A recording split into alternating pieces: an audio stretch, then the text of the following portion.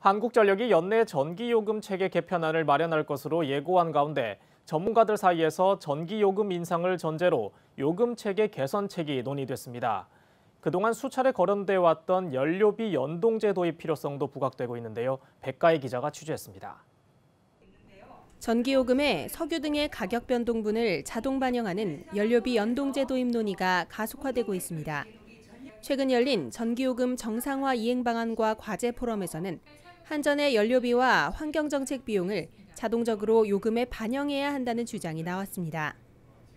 한전이 연내 요금 체계를 개편하겠다고 예고한 가운데 원가 회수율이 턱없이 낮은 기존 전기요금 체계를 전면적으로 뜯어고쳐야 한다는 공감대가 형성된 겁니다.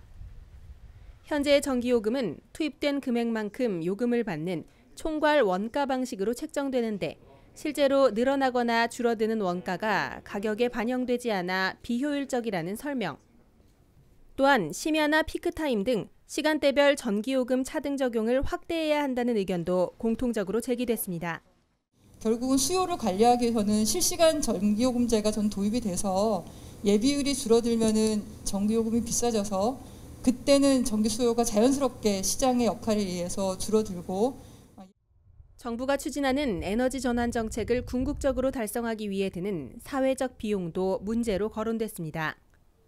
유럽연합을 비롯한 해외 사례처럼 에너지 전환에 따르는 환경 정책 비용을 소매요금에 반영해야 한다며 이에 대한 소비자들의 공감대 형성이 중요하다는 지적입니다. 재생에너지 전원들이 발전량이 들어가려 하는데 그걸 전체적으로 다 평탄화를 시키려면 그러면 이제 굉장히 큰 비용이 들어가게 됩니다. 그래서 이 고품질 전력을 동일하게 똑같이 공급하는 비용이 굉장히 증대했기 때문에 그 소비자에 따라서 선택할 수 있는 기회를 주는 게 중요하다는 이야기입니다.